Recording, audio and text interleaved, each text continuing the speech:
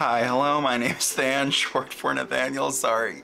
Today, the camera angles, the lights, I don't know, something is like different. I need to start like marking tape on the floor or something so I can put my setup exactly how I left it the last time because I'm constantly moving it to like take pictures and film and stuff, so yeah, I need to get that figured out. you may have seen that we now have a community page for my channel. so I can post, you know, polls, just post about anything, pictures, uh, GIFs. Anyway, so I posted about how I started my new job and I'm still getting used to the whole experience. So my schedule is not as, you know, I'm, I'm not posting as frequently the past few weeks. It's been like a video a week. I had to like toss a video. So my channel's been a little bit of a mess. Um, I've dyed my hair twice since the last video. I bleached it, did like a pink, but those these like front parts did not take. So then I mixed a little bit of purple dye with some conditioner and this is what happened. So the rest is a little more pinky, the front's a little purpley, it is what it is. It's always a little awkward going to film. If I take like a week in between videos, it's, yeah, it's not the easiest thing, okay? But here we are. So today, Victoria Beckham has launched a new shade of her satin Kajal liners, my favorite formula.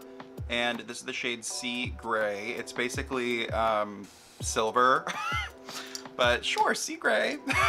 nice name. And then um, I'm also gonna be using the new Byredo metal boots in the snow quint in the raindrop packaging. It is officially a raindrop design because on the website it says raindrop.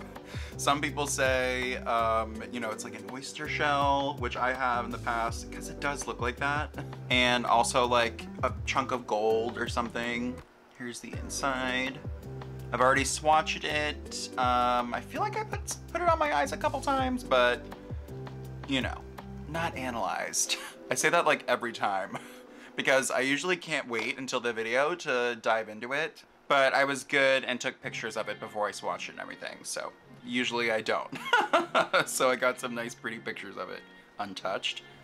Here's the color story. It's like a couple different greens, more of like a khaki, and then there's like a duochrome.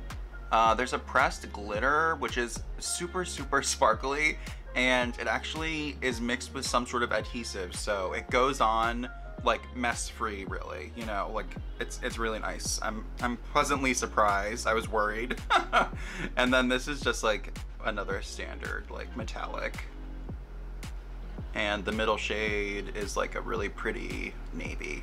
And there's supposed to be another quad, like that's a little bit more black and white, I believe, or quint. Um, but that hasn't been like officially announced. It was just like, I don't know. I saw pictures of it around the time when this one was like leaked or whatever. So hopefully that one comes soon because yeah, I, I love these quints. I also have uh, corporate colors, which is amazing. I love this one.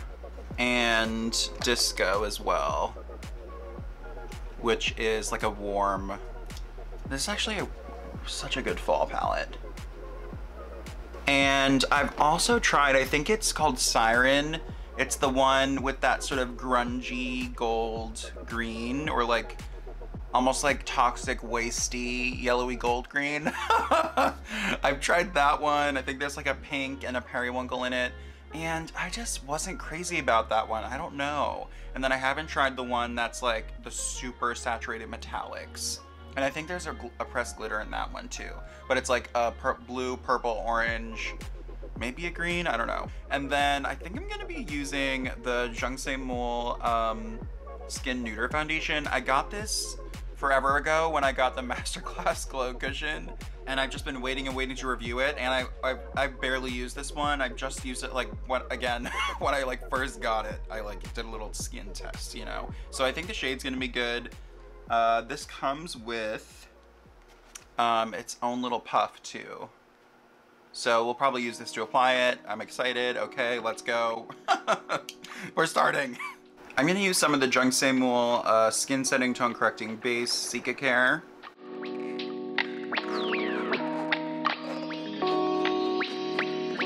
Um, I believe this is the lightest shade. I can't read it, so I'm not sure. Oh, it's just fair. It's just fair. Shade fair. Okay. So the shade looks like. Puff feels pretty nice.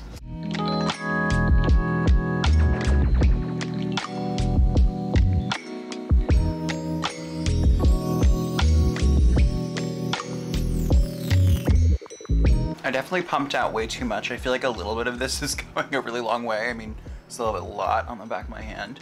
I'm gonna build it in places with just like a, a normal beauty sponge with what's left on my hand. And sort of just smooth out. I sort of feel like the puff was just leaving some marks, you know? It's not my favorite puff that I've tried so far. Like it feels nice, but I feel like it didn't apply it the best. I'm just gonna go in with a little bit of Terra from Em to sculpt. I've pretty much been doing this like every time that I do my makeup now.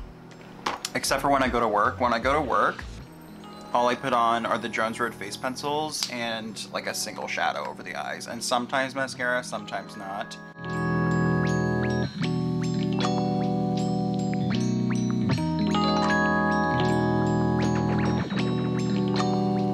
For concealer, I'm going to use the um, Jouer Cosmetics Essential High Coverage Concealer Pen in Snow.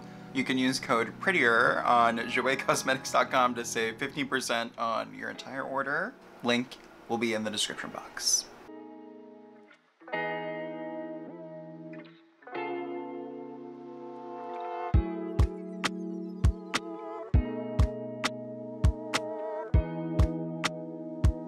This formula is super creamy, so like I mean my, like this one and the navy one, they both came with their tips basically melted off, um, which is fine. I don't really care, you know, whatever.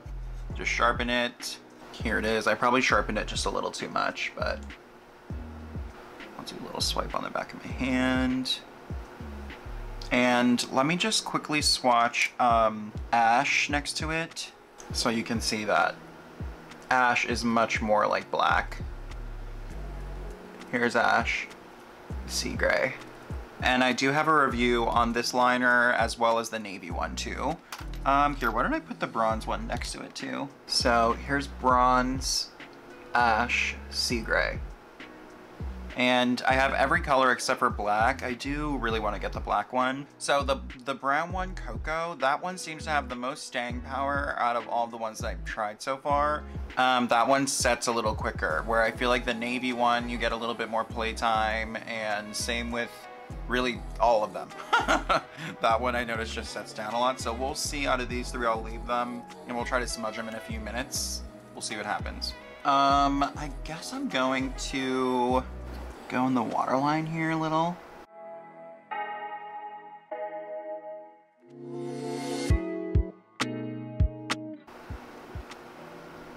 Ah! I'm taking the Sonia G Pencil Pro and I'm just gonna start smudging this.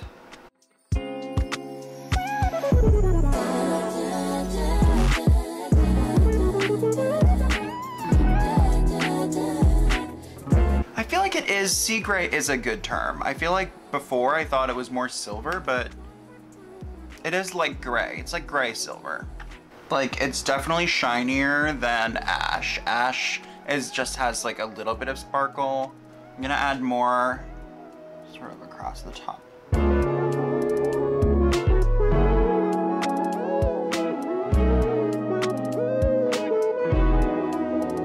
This one seems to be slightly less melty than the navy. The navy really like, you will go through it so quick, I feel.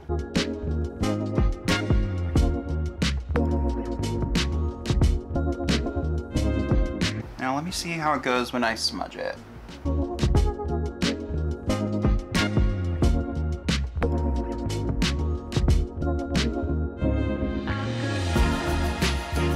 This is way more than just silver. Like like I said before, it does have that sort of gray depth. So you really could just do like a whole smoky eye just with this shade, I feel. To be honest, I'm liking this way more than I thought I was going to. Like I knew I was gonna love it because I really love all these pencils, but I don't know, it's just, it's really nice. So with the navy and the Bordeaux, the red one, I feel like you really have to use another shade with it because the way they like blend out is a little bit patchy, but they are beautiful to use. Like if you want to do a red look, it's such a good base and you just build it up like along the lash line. I mean, they're still beautiful. I love them. But I mean, you've probably seen in my videos, like demonstrating them, they, like when you smudge them out, and I guess I could be more careful and strategic about it, but I just feel like with this one, you don't need an additional shade. Like the way it blends out is just a little bit more consistent than the navy.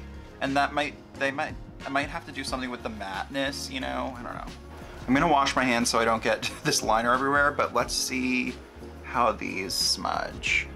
Okay, so the bronze still has some pull, the ash too, and the silver. So they each, I mean, with some pressure, they still can be manipulated a little more feel like the brown, I should have tested the cocoa next to these to, to, to test my theory of it being a little bit harder to blend.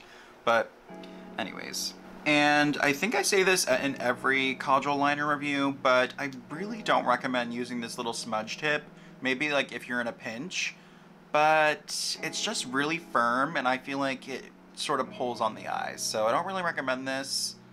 Um, maybe if you were super light-handed, but you know, could be, I wish it was a little softer.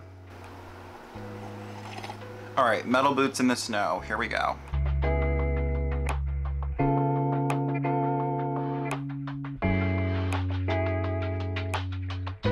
Actually, I'm gonna take the Pencil Pro again.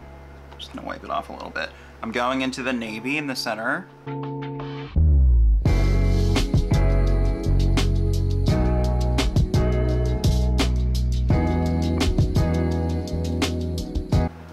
That's okay. Gonna take a little bit of this one right here. This is uh, Ground Frost. It's a little bit more like duo, it's like a duochrome, like brown green duochrome, whereas um, Strap is more like a grungy earthy green.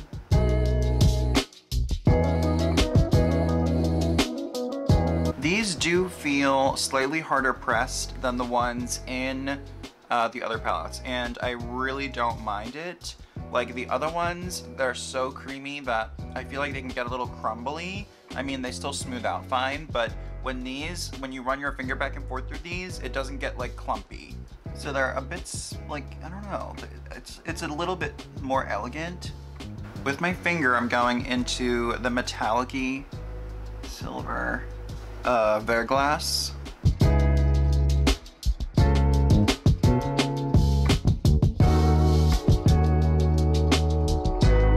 Taking my pinky into the pressed glitter, just a little bit, right in the center of the lid. And really, I'm not getting any fallout from this because it has that sort of adhesive built in. It's really nice. Super sparkly. And you can't really like blend it. You sort of just have to like tap and press and roll where you want it, you know? It doesn't feel necessarily like super chunky, at all. It just, it feels nice. Like it's not very intimidating to use. Do the inner corner just a tiny bit.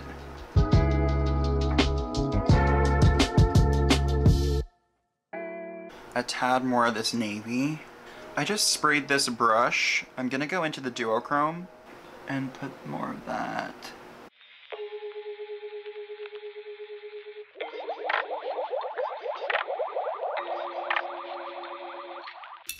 I'm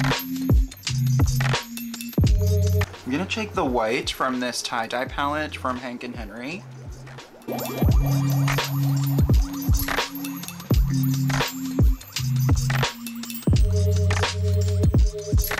Taking a little bit more of the Jouer concealer.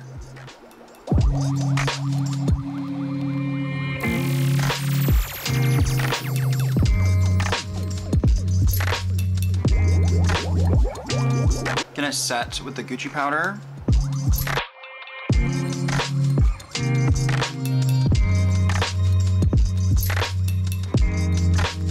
I'm gonna try using this bright pink from the Viseart palette here. And this is the Sonia G Soft Cheek. Let me use a denser brush.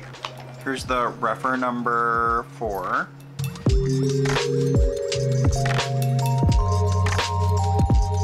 Taking the face one, just buff it a little. Rom&nd contour powder. I feel like I want just a little bit more sculpting. And just Shakuda angled face brush.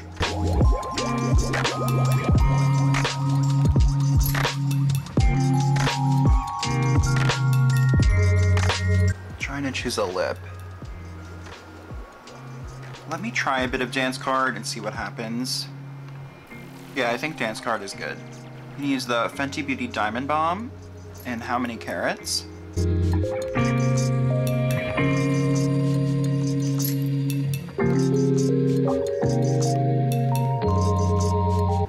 A smidge of the Pat McGrath Under Eye Powder in light, just like a tiny amount.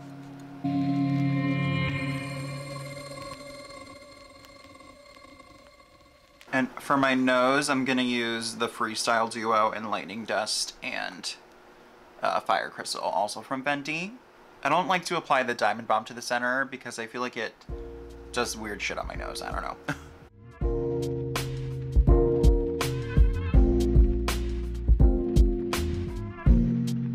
in fact, I'm gonna add a little bit of this on top too. Charlotte Tilbury Legendary Brow Gel in Black Brown.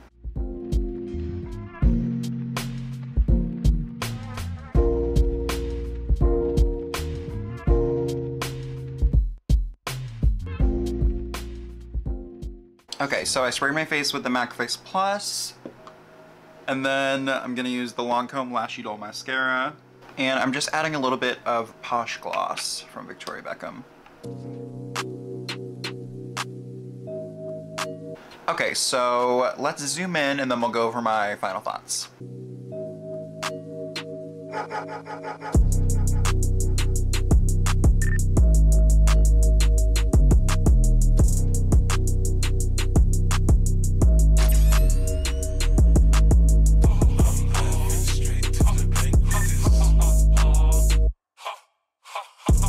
Um, I'm very happy with this foundation. I really like the way my skin is looking.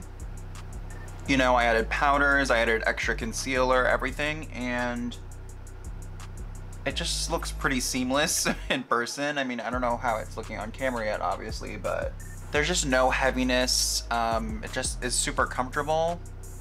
Looks pretty good on my lip and my chin, on my forehead, it looks great. Metal Boots in the Snow, I feel like, I don't know which one I like more. I feel like Corporate Colors and Metal Boots in the Snow for me are like tied. Um, I like them both more than Disco. I know, unpopular opinion. but like a lot of people love that one because it is like richer and a lot of people like warm more than cool, you know? But yeah, I feel like I'm tied between these because they're just very different vibes. Like like like metal boots in the snow, corporate colors. I feel like this one's just a little bit more casual, and this you can really like amp it up for the holidays. Hence, it's a holiday release, you know. I mean, this one's definitely a little more unique, and it has that pressed glitter in there, which really surprised me. I don't know. I was sort of worried, and I was like feeling like I would like every shade except for that one. So I was completely wrong, and I love the glitter. I just can't believe that I don't really have fallout from the glitter. I think I have some sparkly fallout from either the liner or the other metallic shade, but I don't think it's the glitter because they're not that, like, sparkly, you know? More shimmery. Like, I have shimmer fallout, not glitter fallout. And I like how where you press them, they just stick right on. You know, it's really nice. And the green is a very elegant duochrome. It's not super shiny and like how maybe like a Blitz shade would be from Pat, you know, or an Astral shade from Pat. It's slightly more chic. It's not like a scary or intimidating duochrome. Not that I'm intimidated by them, but you know, I'm just talking about the general public. It's just really nice. Um, right away, I was, this made me think of Tom Ford 2019 uh, Soleil Neige. I mean, similar like snow vibes, winter vibes. Because there's the navy. I mean, I guess that's pretty much it. you could create similar looks like between these palettes, I feel, except the green and there's not really a taupe in this one. So they're different enough to justify both, in my opinion, and completely different textures as well. But you can get a nice similar like holiday look with this quad if you already have it. Um, this liner also surprised me. I'm actually really happy with the gray aspect of it and that it's not just a straight up silver because you really can do a complete smoky eye with just this one, similar to how Ash is, how Cocoa is. Only thing with this foundation, sorry, sidetrack. okay, I am noticing right now, uh, the foundation is bunching quite a bit in my nose crevices. I mean, that wouldn't stop me from wearing the foundation, but just something I'm noting here. Okay, um, this sea gray liner is definitely a hit. Um, if you love the rest of the Kajal liners from her, uh, you're gonna love this one. It's just a really great addition, and it's definitely different enough to Ash, in my opinion, that you're gonna really like it. You can't, you just like really can't go wrong with these liners. They're all so good. I love every color that I've tried which is all of them except for black, like I keep saying. I would love to see a nice like khaki green or olive liner from her. That's definitely coming for sure. I mean, I don't really see how she could get away from doing that. Like, yeah, that, that's definitely coming. Okay, so again, sorry my uploads have been slower. I'm really trying to get back into the groove, but, you know, still figuring out the scheduling. um, but thanks for watching and make sure to like, comment, and subscribe and ring the bell so you're notified every single time that I upload a new video. Uh, follow my Instagram, and Graham. Uh, follow my newness page so you're notified every single time I'm doing a live stream on there. Uh, all the links will be in the description box below for the products, for my socials. I have another video planned. Not sure when I'm going to be filming it. Should be up midweek, I'm thinking. But, you know, we'll see. okay, goodbye.